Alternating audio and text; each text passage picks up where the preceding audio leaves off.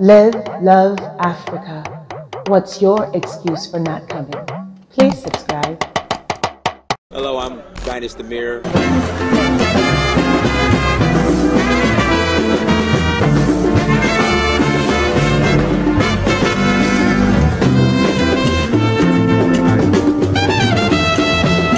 All is well. Hope your morning's going well. Hope you got up this morning, you worked out, you broke a sweat, you did some push ups, some jumping jacks, staying active, you meditated on being great. Hope you did all of that. This morning's topic you cannot outrun your last name. What do I mean by that? The one thing you don't want to do is embarrass your family. And in embarrassing your family, you ruin your last name. You taint your last name, your family name. You don't want to do that. And the thing is, no matter how much you try to hide, outrun, fake left, go right, there's no escaping that once you're in the system. I don't care what pseudonym you go by. I don't care if you try to change your last name. I don't care if you try to go underground and get out the system.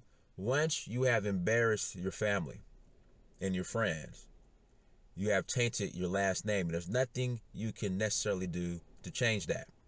That sticks with you. It's not going anywhere. So when you make decisions, not only do you want to keep yourself in mind, obviously, but also consider your friends, your family, those who you're close with, before you make that decision. Because not only are you impacting them, you also, well, not only are you impacting yourself, you're also impacting them. The last thing you want to do is embarrass your family name. It's not just about you. A lot of times we get selfish and we make poor decisions, not knowing that you're also your family, your kids, your children's children, that they're also going to be impacted by these poor decisions. Your legacy is going to be impacted by these poor decisions.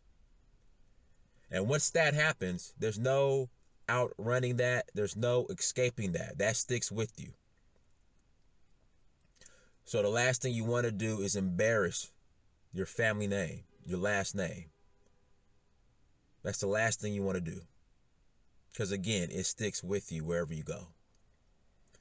So let's make our families proud. Let's make our friends proud. Yeah, we make mistakes. Trust me, we make mistakes. It happens. This is life. But again, just be more conscious about whenever you make a when you start to make certain decisions that you're not going to, I guess, negatively impact your last name. Because again, if you negatively impact your last name, there's a chain reaction that also affects not only you, but your parents and your legacy. Let's not ruin our legacy.